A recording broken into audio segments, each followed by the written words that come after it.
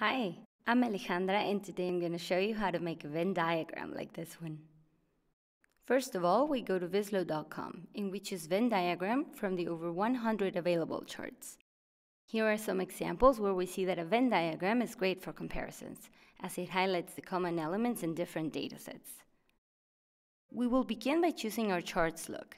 You will find some great predetermined themes, but you can also upload your company's corporate image and apply it to all your visualizations in seconds.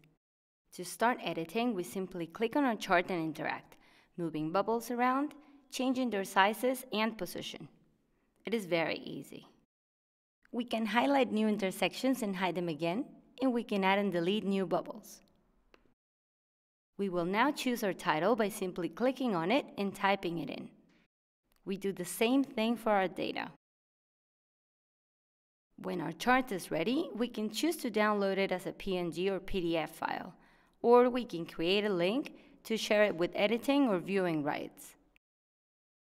And that's it, we've got a fully customizable Venn diagram.